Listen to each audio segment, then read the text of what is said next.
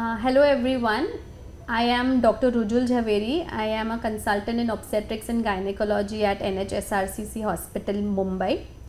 Uh, today we are going to talk about physiological changes in pregnancy.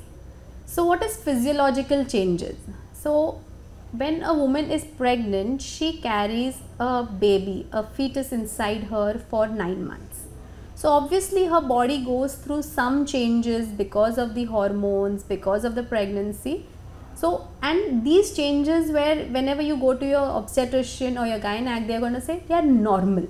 So, we are going to discuss these normal changes, which in scientific words are called as physiological changes in pregnancy so your doctor may tell you this is normal. So what exactly is normal and when does it become abnormal? So when does physiological become pathological is what we are going to discuss. So first physiological changes if we have to go step by step are the hormonal changes. So we all know there are female hormones estrogen and progesterone.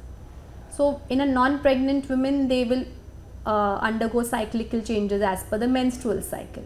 So now that the menses have stopped when the woman is pregnant, these estrogen and progesterone hormone levels will drastically increase.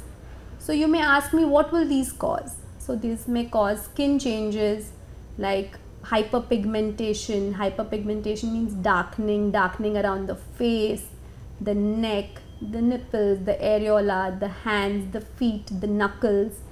They may cause hair changes. So there's excessive hair growth so hair growth increases the same hormones once it decrease once a woman has delivered will lead to postpartum hair loss then there will be mood swings there will be excessive there may be excessive mood swings so this is your estrogen and progesterone so in addition to these two female hormones there are other hormones also which increase in pregnancy one of which is HCG or human chorionic gonadotropin hormone. So what does HCG cause? So the first three months when you know you have this excessive nausea, vomiting, intolerance to smells. So this particular hormone HCG is what is causing the excessive nausea and vomiting of pregnancy.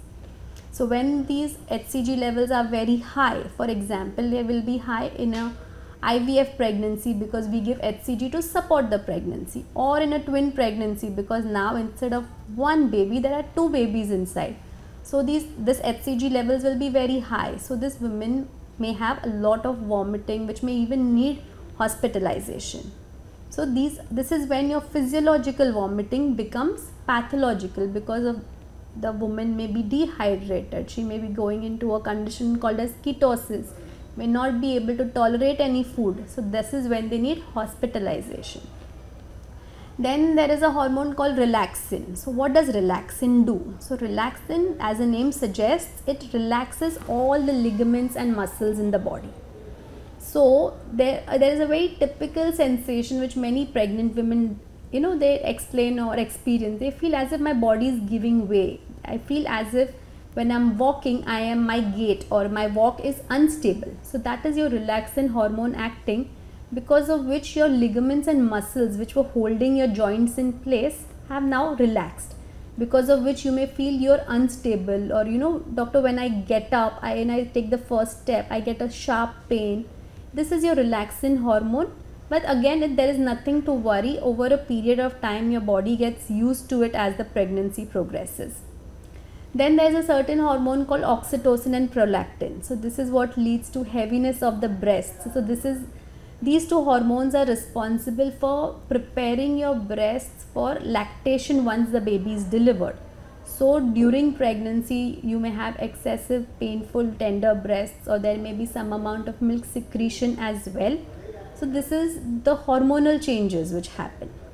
Then there are certain cardiovascular changes. What, what do you mean by cardiovascular? Is changes in the heart. First of all, the blood volume increases. This excessive blood volume can lead to swelling of the feet, swelling of the hands, which most women experience. There may be increase, there is an increase in the work which has to be done by the heart because now the heart has to pump blood to the growing uterus, to the growing fetus. So your heart rate will increase you may feel palpitations, even climbing a flight of stairs you may start breathing heavily. This is because your cardiac output and your cardiac work has increased. Now in the first uh, and the second trimester the blood pressure may fall. So for a woman who is say hypertensive when she is conceived suppose she already has hypertension all of a sudden she may feel oh now my blood pressure readings have become normal. It's not because it's become normal or you know the medicines it's because physiologically the blood pressure has to fall in the first and the second trimester. Secondly women who are normotensive means with normal bp readings they may the blood pressure may fall so much that they experience dizziness especially when they have to stand up from a sitting position is like when they complain of dizziness and fatigue. So these are the cardiovascular changes.